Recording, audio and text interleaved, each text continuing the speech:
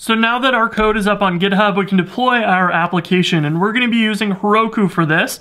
They have a free tier and they will handle all of the server management stuff for you. You can even add new servers with the click of a button and scale your application up and down and it will handle all of that, your databases, your dependencies, everything is pretty much taken care of for you. So they have a free tier, but you can also go and add some paid upgrades or anything else you might want. But go to sign up and create your account. And then there is a step that you can go into your settings and connect your GitHub account under um, account settings and then you'll be able to go into the dashboard and create a new application. So we're gonna call ours scheduled tweets um, but it's probably going to be taken. It's actually not, surprisingly. So we'll create our app and we are good to go. Now, the way to set this up is to go to the GitHub section here under deployment method. You can either push from your local machine or you can push from GitHub. So if you connect GitHub, you'll be able to select your repo name here. So scheduled tweets is the name of my repo. We will search for that and we will click connect. So that's all we need to do for that.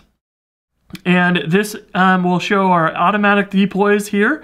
So we can actually make it so that anytime we push up code to the main or master branch on GitHub, it will trigger Heroku to deploy that code, which is actually super handy in the real world, but we're going to do a manual deploy. Now, if we do a manual deploy, our code is going to be cloned and it's going to start installing all of the dependencies. It's going to set up Ruby and Node.js for our assets, but things will tend to fail for the very first time. So for example, what we see right here is we get an error message and it says, um, your bundle supports only the platforms x86, 64, Darwin, 20, but your local platform is x86, 64, Linux. So what it will do is try and tell you, hey, we're deploying to a Linux server, you're on a Mac, and Bundler didn't include um, any permissions to allow us to install these depend dependencies for Linux. So what we'll do is we'll go to our terminal, and we'll run that command in our terminal that will update our gemfile.lock and basically say, hey, it's safe to install this stuff on Linux. And we can also add Ruby as a platform in here um, for compatibility. I would go ahead and do that. And if we run git status, we will see that our gemfile.lock has changed. And it basically just added those two lines under platforms. So we'll go ahead in here and say git commit dash m, um, add Ruby and Linux platforms to gemfile.lock. We will git push that up and we can go back to Heroku and try to deploy again. So you might need to go through this step um, or this process a couple times until you get everything set up correctly. But what we'll do is start installing all of our gem dependencies and then compile our assets, so all of our CSS and JavaScript, and then it will um, basically finish successfully, but we will need to actually run a command to run our database migrations because Heroku is not going to automatically run our database migrations for us, so we need to run that as an extra step. Now our second attempt at deploying failed because actually um, our database for Rails, the default database being SQLite, is not production ready. So you can't use that on Heroku. SQLite is actually just a file that's on your computer as your database, but it doesn't allow multiple users to edit things at once like you need in a real production website. So Heroku doesn't allow SQLite. So we can go change our application by running Rails DB colon system colon change to PostgreSQL. What this will do is swap out our database configuration, our database.yaml, and it will install the Postgres gem for us into our gem file. So we can run bundle to install that. And you will need Postgres installed on your computer. So if you're on a Mac, you can do postgres.apt. It's very easy to install and get running. Um, and it can help you basically manage your Postgres setup very easily. That's what I would recommend. And if you're on Linux, you can use app to install Postgres and the same thing on Windows. It's pretty easy to install Postgres. So you have to have that in order to install this Postgres gem. I've already got Postgres installed and then we can run git status again and add these changes. So it adds the PG gem for Postgres, remove SQLite, and that is all. And it updates our database.yaml to change the database configuration to use that Postgres gem. So we'll commit these changes, switch to Postgres, and we will push that up. And we will now have a brand new database to use on our local machine and in production. Now let's start a deploy of this again. And this should now go through past that step. And if you're on your local machine, you're gonna need to run RailsDB create in order to create the Postgres database because we won't use the SQLite file anymore. And then you can run RailsDB migrate to create all of your database tables with your migrations. And we just need to redo that so it runs in Postgres instead. So our deploy was successful and we can now access our app on Heroku. So we can click on any of these pages and it will take us around until we get to sign up and something goes wrong. Now if we go to more and click view logs on Heroku, we'll see that there is an error here and it says undefined table relation users does not exist. It's basically saying your users database table it's not there, which means we need to run our database migrations. Now, the easiest way to do that is to run a command in the console on the web. And we can say Rails db migrate and click run. And that is going to basically go connect to our uh, application and run that command for us all on the web, which is pretty cool. So our command is finished and it's created our users, our Twitter accounts, and our tweets tables. So we should be good to go. So if we refresh this now, we are able to sign up. So we can say our email and whatever we want our password to be. And I finished registering off screen, but my account was created successfully and saved in the Heroku Postgres database for our application. Now, I also want to mention you can install the Heroku CLI. You can take a look at their installation docs for how to do that, but it will give you the Heroku command in your console or in your terminal, and you can run Heroku git remote a scheduled tweets or whatever your app, app name is. And this will actually add a git remote called Heroku that allows you to deploy directly from your own computer. So you can say git push Heroku master, and that will go and push all of your new commits directly to Heroku, which will trigger a deploy and have the new version of your app released. Now, I have already um, done all of that, the latest commits, so we can't push any new deployments because we don't have any new commits to push up. So that is um, another way for you to also run Heroku Run Rails DB migrate from here. We don't have any migrations, but it will run this command on there and see if there are any migrations needing to be run. And you can see we didn't have any, so it just finished that command, but we can also run the Rails console from here and actually take a look at our production Rails app, our database and everything from there. You have to be very careful not to delete anything important because this is your production database if you run Heroku run Rails console. So that does allow us to grab for example, user.last, and we can see, hey, we do have a user in our database. Now there's a couple things we still have to set up. We need an add-on for Redis. So we're gonna look for Redis in the add-on section. Oops, we want Redis, Heroku Redis. We wanna grab the free tier and we will submit the order form. That will install the Redis database for our application, and that will allow Redis and our Rails app to communicate with each other. Now, the other thing we need to look at is these dynos. We have one for our web, which is going to run our Rails server by default. Heroku is smart enough to know we want to run bin Rails server and tell it the specific port and the Rails environment, which is production.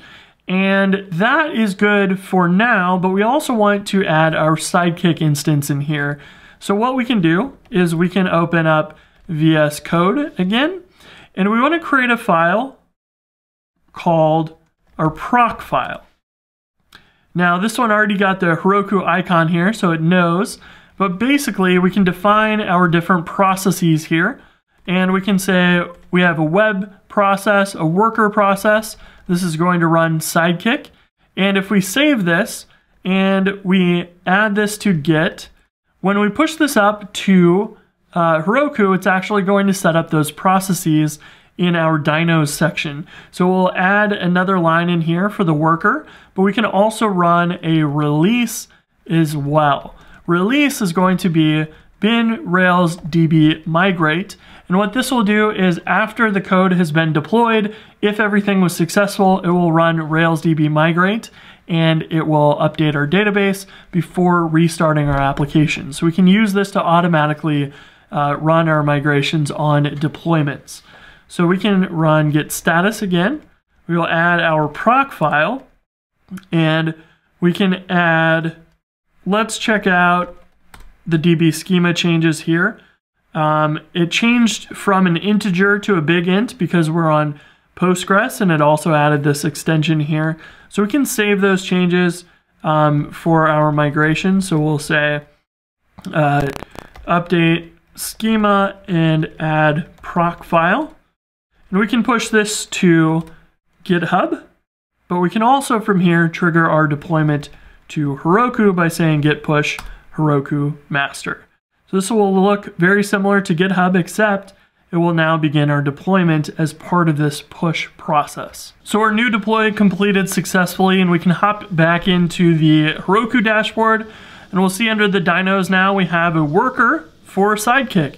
And noticeably our release one is not there because that release one is special for the release process and it's not one that actually runs all of the time. The dynos listed here are for processes that should always be running and we always want the Rails server and our Sidekiq process running. So we have to click edit to turn this on but we can do that and it will run as a free dyno and we are good to go. So now we can actually schedule tweets in production um, using Sidekiq and have that work. But we have one more change to make. We need to add an environment variable to our app in Heroku, which is our Rails master key, and this is our production master key. So if you remember, we previously created config credentials, development.yaml.encrypted, and development.key. Those were for our development environment only. We would put our test keys and things like that in there, but we also need one of these for production. So let's go ahead and create that now. Now, if you don't remember, we can run Rails credentials colon edit dash dash environment equals development to open up our development keys. And actually, we're going to use the same Twitter API or Twitter OAuth keys in both development and production. So you can go and edit this, copy your Twitter keys, and paste them into your production file, which will open with environment uh, equals production. So this will create a file. We will have our Twitter um, API key and API secret, if I remember right. And we will just paste our Twitter keys inside of here with the correct name. So once you save that file, it will spit out the key. You can also open up this file and read out the key from inside of it, but it will tell you that if it creates it for the first time. And we can go into Heroku, add that as our Rails master key for production, and we're good to go. Now, if we run git status, we'll see that two files were changed.